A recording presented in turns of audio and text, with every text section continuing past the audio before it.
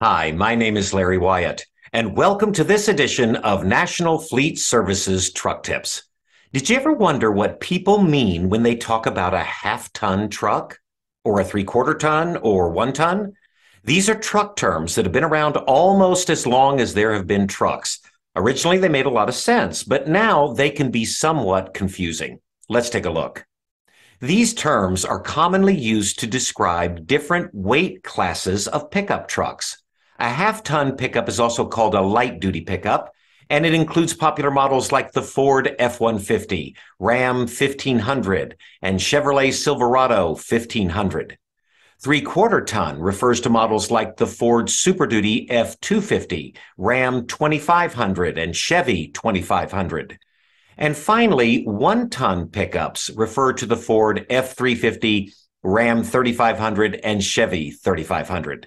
So, where did these terms come from? They refer to the payload capacity of the truck.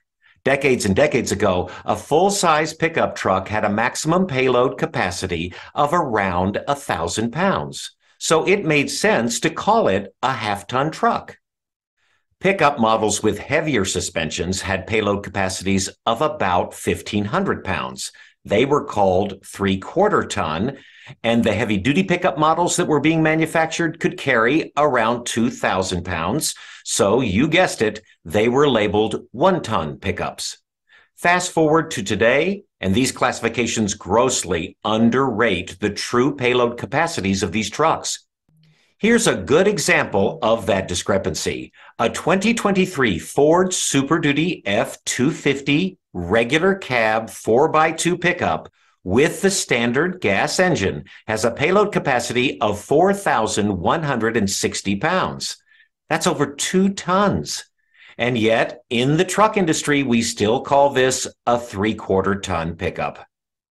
So don't let these terms confuse you. They're simply old references that are still commonly used and refer to three basic weight carrying classifications of full size pickup trucks.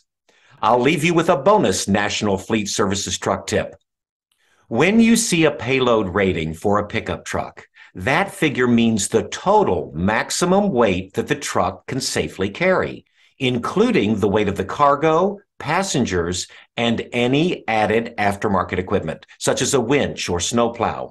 Plus, if you're towing, it also includes the tongue weight of the trailer. So keep that in mind when you're looking for the right class of pickup for the payloads you need to carry. Thanks for watching, and please click on more of our NFS truck tips.